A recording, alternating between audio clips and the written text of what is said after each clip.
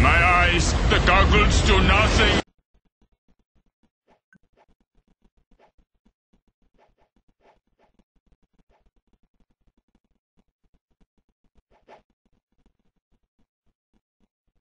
He's dead.